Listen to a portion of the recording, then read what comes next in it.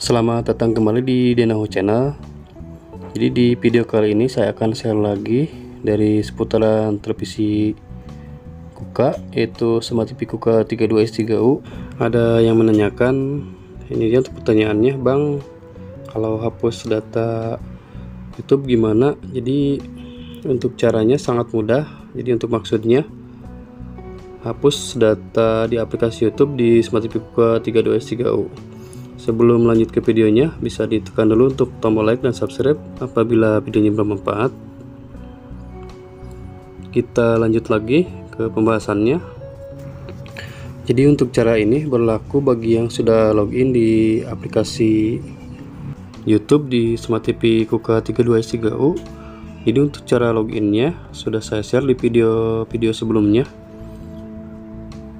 Untuk cara login memakai QR kode kemudian kode dan sebagainya sudah ada di video sebelumnya bisa dicek teman-teman. Jadi untuk cara ini saya share yang di aplikasi YouTube yang di beranda smart TV nya untuk yang di browser televisinya sudah saya share juga di video-video sebelumnya. Dan ini dia teman-teman untuk akunnya. Sudah login di aplikasi YouTube-nya jadi untuk semua data yang di handphone sudah masuk ke aplikasi YouTube yang sudah ada di smart TV-nya untuk history, kemudian penelusuran, kemudian video yang sudah kita tonton, kemudian untuk koleksi sudah ada di sini semuanya teman-teman. Jadi untuk caranya untuk cara menghapus data aplikasi YouTube ini kita pergi ke pengaturan di paling bawah setelan kita tekan OK. Kemudian kita scroll ke bawah kita cari yang history dan data teman-teman. Ini dia. Kemudian kita pilih untuk yang pertama hapus history tontonan teman-teman.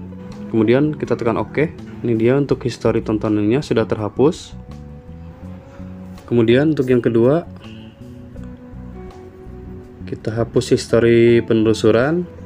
Ini kemudian kita tekan OK. Dan untuk history penelusuran juga sudah terhapus. Dan untuk yang terakhir untuk mereset data dari aplikasi ini atau menghapus data dari aplikasi ini untuk yang terakhir kita reset aplikasinya teman-teman. Kemudian kita reset kemudian kita tekan OK.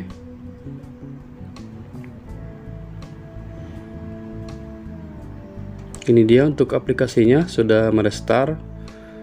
Jadi untuk data di aplikasi ini sudah terhapus semua teman-teman. Jadi ini kembali ke awal seperti kita masuk ke aplikasi YouTube yang pertama kali. Ini sudah kosong untuk histori penelusuran kemudian histori tontonan dan yang terakhir untuk data dari aplikasi ini teman-teman. Jadi kita harus login lagi untuk masuk ke aplikasinya. Ini sudah kosong teman-teman untuk datanya. Sudah terhapus semua jadi sekian dulu untuk video sederhana dari Denahu Channel untuk cara menghapus data di aplikasi YouTube di Smart TV Kuka 32S3U. Semoga videonya bermanfaat. Jangan lupa untuk tekan tombol like dan subscribe. Sampai jumpa lagi di video-video selanjutnya.